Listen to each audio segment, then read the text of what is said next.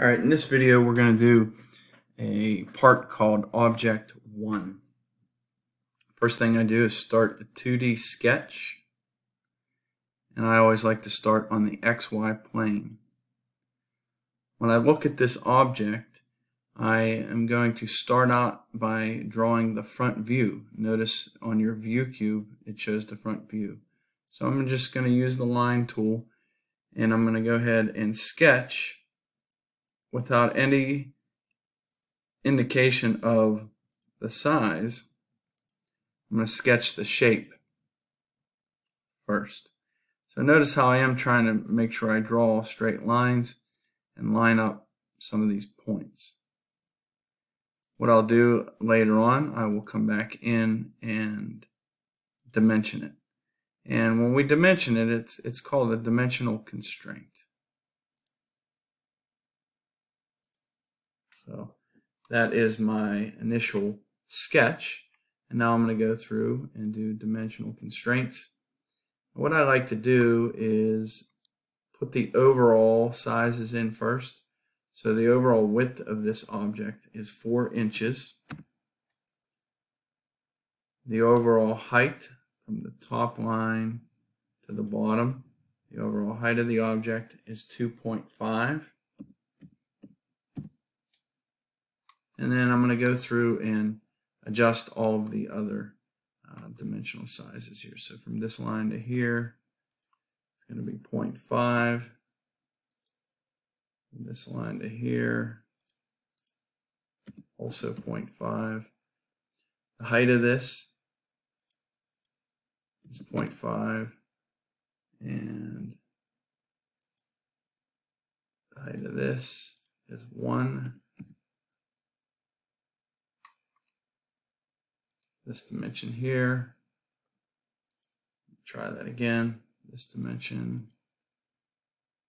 right here should be one inch. And this dimension here is two.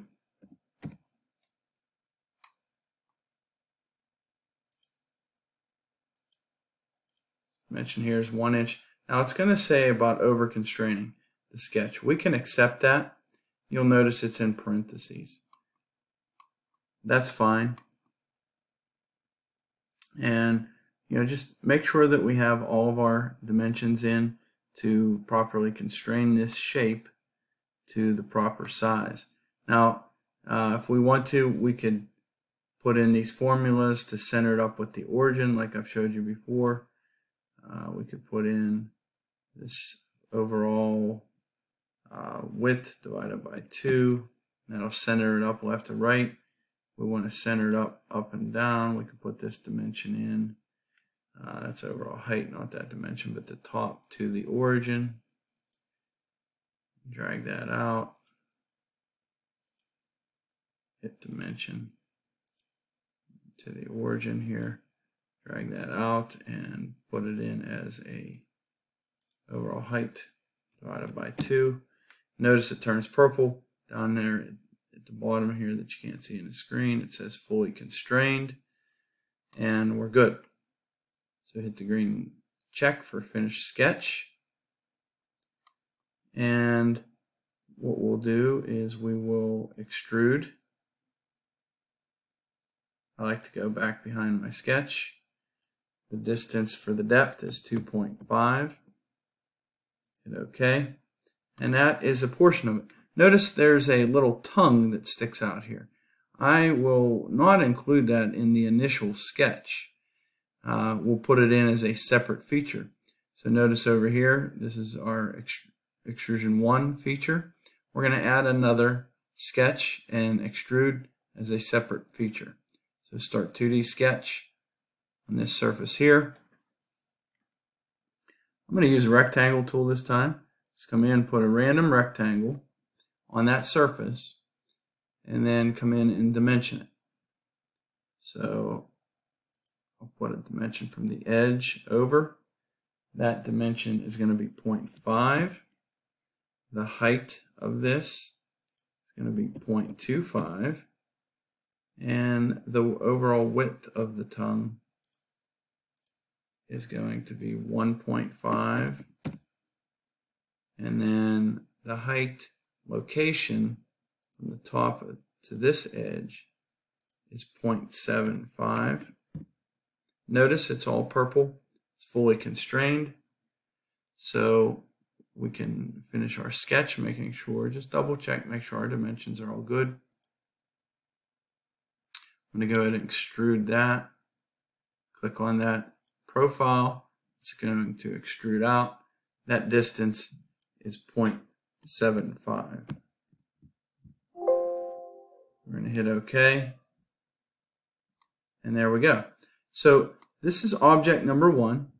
And how I would like you to submit this is we're going to go and check the volume. So if you go to your home view, this is your isometric view. So I want to move that over to the side. I want you to go over to the model browser and on the part name, I want you to right click and go to iProperties. So in iProperties, we're going to go to the Physical tab. You may need to hit Update. And in here, you're going to get the volume calculation, 16.51 or 531 cubic inches. This is going to be critical for the assessment of this part. This proves that you designed this part accurately. So I want three things when you submit this. I want to see your isometric view, I want to see your volume calculation, and I want to see your sign-in name up here. That'll be it for object number one. Thanks for watching.